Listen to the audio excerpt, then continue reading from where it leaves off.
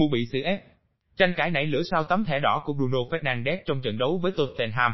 Đội trưởng Bruno Fernandes của Manchester United đã bị rút quyền thi đấu ở phút thứ 42, sau khi nhận thẻ đỏ.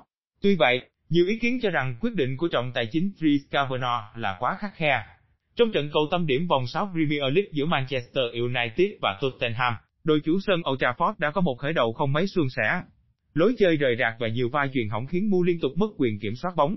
Đến phút thứ ba, từ một tình huống như vậy, vàng dài vàng nhanh chóng đoạt bóng từ khu vực giữa sân, sau đó bứt tốc mạnh mẽ vào phần sân của Mu và kiến tạo cho Johnson ghi bàn mở tỷ số.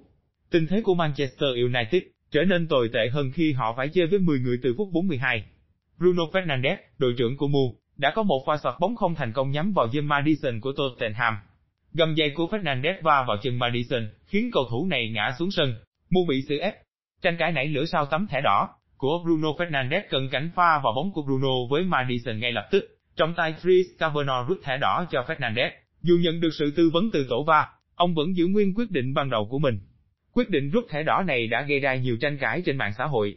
Nhiều người cho rằng trọng tài Kavanagh đã quá khắc khe, vì Fernandes không có động tác lao thẳng chân vào Madison và cầu thủ Tottenham, cũng không gặp chấn thương nghiêm trọng.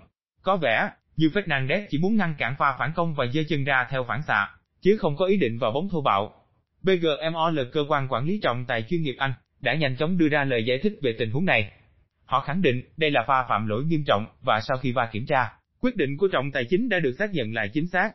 Mặc dù đã có sự can thiệp của VAR, quyết định thẻ đỏ dành cho Bruno Fernandes không thay đổi.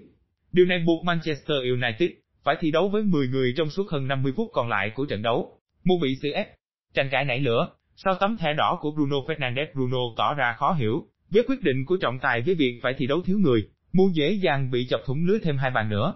Qua đó có một ngày thi đấu thảm hoại khi thua Spurs với tỷ số 0-3 ngày, tại Old Trafford. Trên mạng xã hội, rất nhiều người tỏ ra ngạc nhiên với tấm thẻ đỏ của Bruno Fernandes một người hâm mộ viết, Bruno Fernandes đã phạm lỗi trong pha vào bóng này và bị đuổi khỏi sân. Đây không phải là thẻ đỏ trực tiếp. Đây là một pha vào bóng thô bạo, nhưng pha trượt chân thì quá rõ ràng.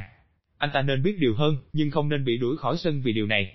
Một người khác nói, Bruno Fernandes trượt chân rồi không tiếp xúc nhiều. Tôi hiểu tại sao anh ấy bị phạt thẻ đỏ, và tôi đoán đó không phải là lỗi rõ ràng và hiển nhiên, nhưng tôi nghĩ điều đó hơi khắc nghiệt. Người thứ ba bình luận, Bruno thực sự trượt chân trước khi vào cuộc. Cảnh quay chậm trông rất tệ, nhưng thực tế là anh ấy trượt chân và điều đó khiến Madison phải nằm sân.